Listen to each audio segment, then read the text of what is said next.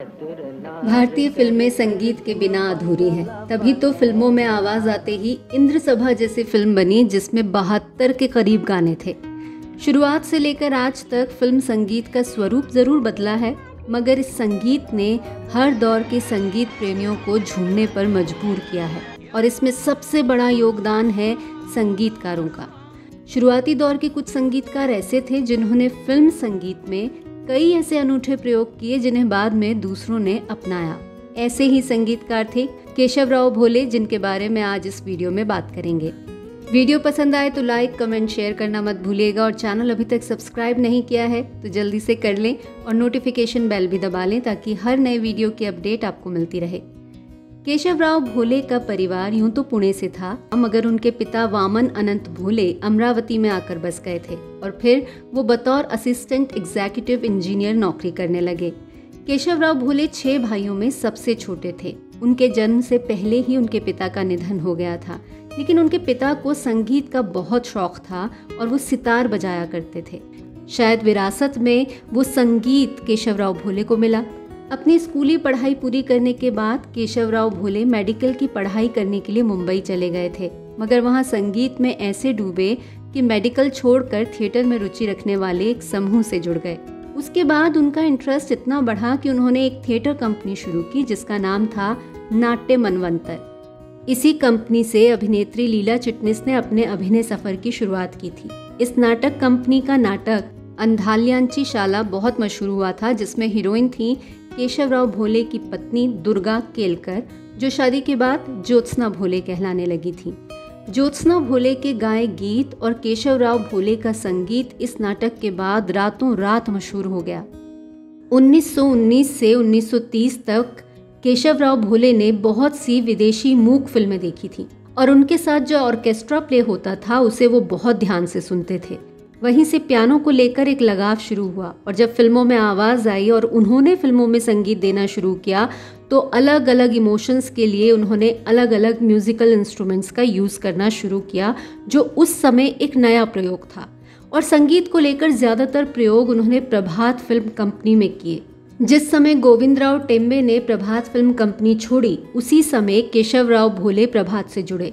हालाँकि इससे पहले केशवराव भोले एक मराठी और दो हिंदी फ़िल्मों में संगीत दे चुके थे। उन्होंने ये महसूस किया कि चाहे हिंदी हो या मराठी, उन दिनों फ़िल्मों में स्टेज के स्टाइल का ही संगीत सुनाई दे रहा था। उन्हें लगा कि फ़िल्म बिल्कुल अलग मीडियम है, इसीलिए यहाँ एकदम अलग स्टाइल का म्यूज़िक होना चाहिए। फिर उन्होंने प्रभात में नए एक्सपेरिमेंट्स करने शुरू कर दिए। उन्होंने वहाँ के म्यूज़िक डिपार्टमेंट को और बढ़ाया। नए साज लाए और साजिंदे भी, साथ ही ऑर्केस्ट्रा को और ज़्यादा प्रभावशाली बनाया। प्रभात की ज़्यादातर मशहूर फ़िल्मों में उन्हीं का संगीत था। 1934 में आई अमृत मंथन में उन्होंने सामने बजते हुए संगीत के साथ ही कलाकारों के साथ रिहर्सल की और फाइनल शॉट्स भी लिए। इससे कलाकारों के भाव और म्यूज़िक का तालमेल बहुत असरदार रहा। ये फ़िल्म कई मायनों में मील का पत्थर थी जिसने सिल्वर जुबली मनाई और ये पहली भारतीय टॉकी थी जो 25 हफ्तों तक चली। इस फ़िल्म में वसंत देसाई ने भी एक गाना गाया था। अमृत मंथन के बाद आई चंद्रसेना, राजपूत रमणी, पर उनकी सबसे लोकप्रिय फ़िल्म थी 1936 में आई संत तुकाराम, जो केशवराव भोले के संगीत के लिए जानी जाती है।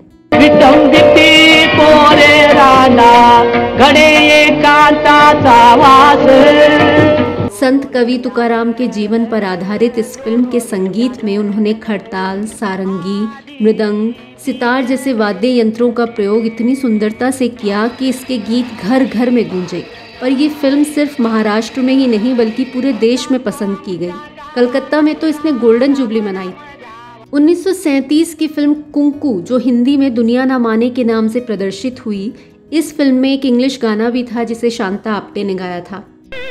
World's broad field of passion in the bivouac of life. इस फ़िल्म में केशव राव भोले ने बैकग्राउंड म्यूज़िक की जगह बैकग्राउंड साउंड्स का इस्तेमाल किया। यह अनोखा प्रयोग भी पहली बार किसी फ़िल्म में किया गया था। ये फ़िल्म अपने विषय कलाकारों के अभिनय और संगीत के कारण बहुत मशहूर हुई।